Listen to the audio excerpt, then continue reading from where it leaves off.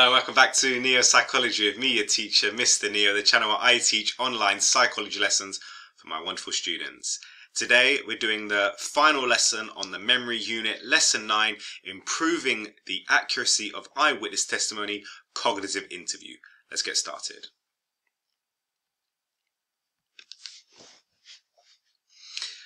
The standard police interview involves the policeman doing most of the talking, asking specific questions that require specific answers. They may also ask leading questions that contaminate a witness's memory. These techniques disrupt the natural process of searching through memory, making memory retrieval ineffective. Luckily for the police though, psychologists have developed an interview technique that arguably produces more accurate responses. This is known as the cognitive interview.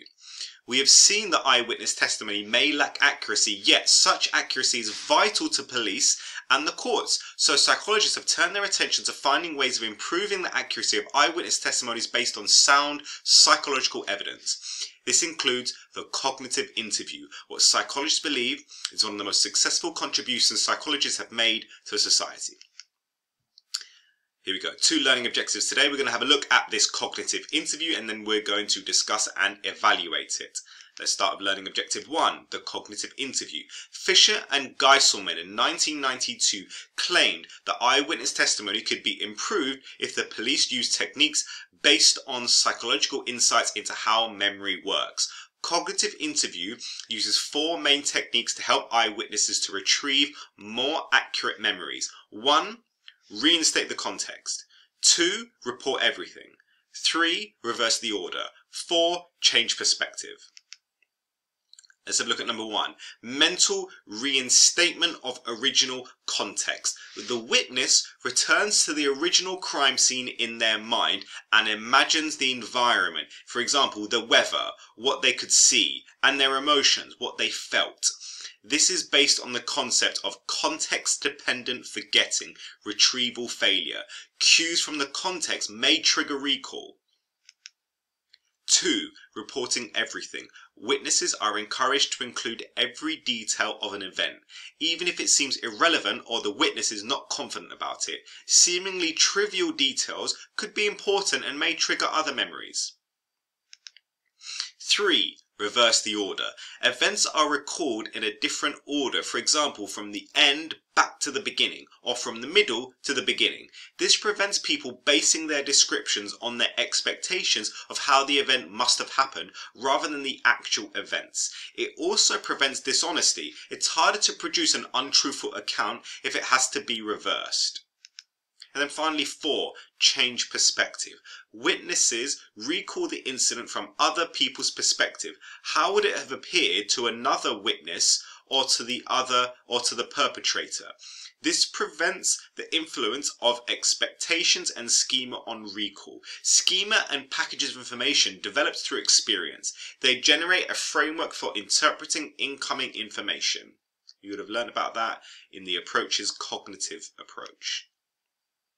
Okay, cognitive interview. What is cognitive interview? It is a method of interviewing witnesses to help them retrieve more accurate memories. It uses four main techniques, all based on well-established psychological knowledge of human memory. Reinstate the context, report everything, reverse the order, and change perspective.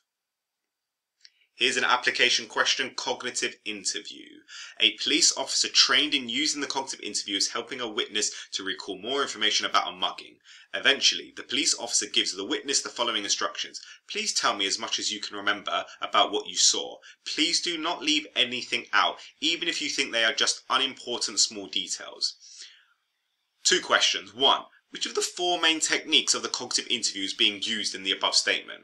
And two, for the three other techniques, write down the exact wording of the instructions the police officer might give to the witness. So, you've got to put yourself in the police officer's shoes, write three questions based on the other three techniques. Give that a go now. Please pause the, pause the video, write the answers down. Here we go. Number one, the statement relates to the report everything technique of the cognitive interview.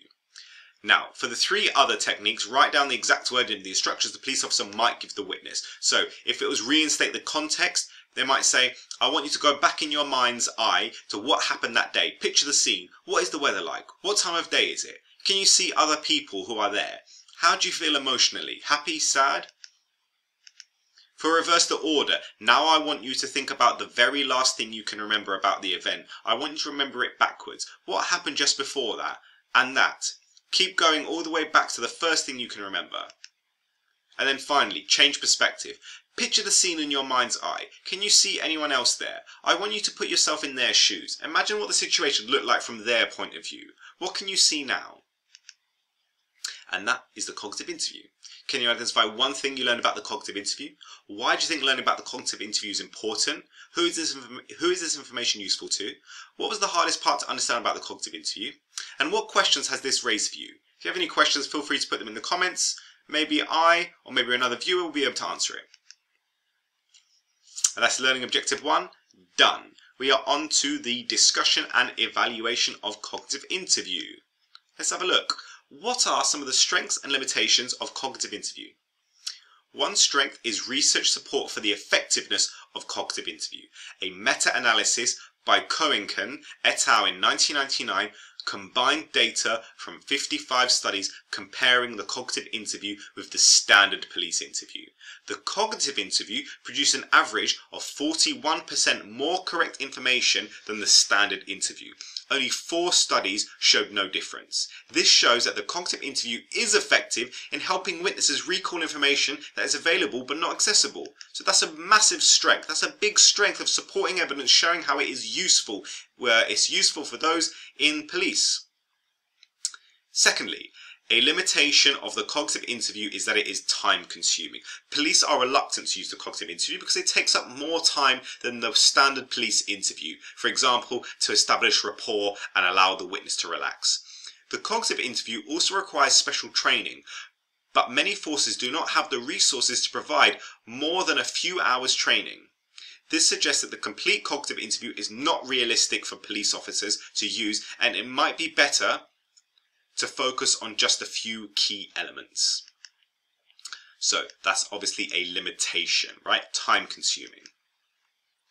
Finally, quality rather than quantity of recall. A criticism of the cognitive interview is that the effectiveness is often measured in terms of quantity of information recalled rather than quality.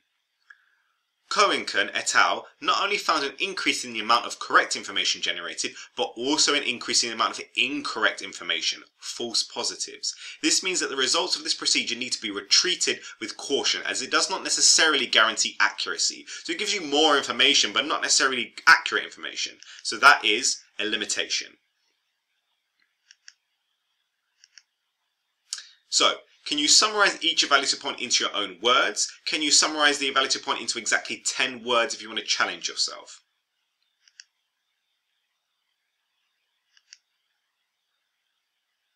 And that's learning objective two. Discuss and evaluate the cognitive interview. We had a look at a couple strengths and limitations regarding that. Right, plenary, mind map. Can you create a mind map about everything learned in this memory unit? Ensure to include both AO1 and AO3 knowledge for each of the nine lessons within this unit. Otherwise, that was the lesson. That was lesson uh, lesson 9, improving the accuracy of eyewitness testimony, cognitive interview, and that's the end of the memory unit. Hope that was helpful. Well done, my neo-psychologist. Good job today. Great job today. God bless and peace. I'm feeling like Will. I feel like a prince. I'm feeling myself. I'm loaded with bills. Cause I wasn't blessed with no Uncle Phil. Don't know how it feels. I wanted to flex. They told me to chill. I'm making a flip. My life is a flick. Now load up the film.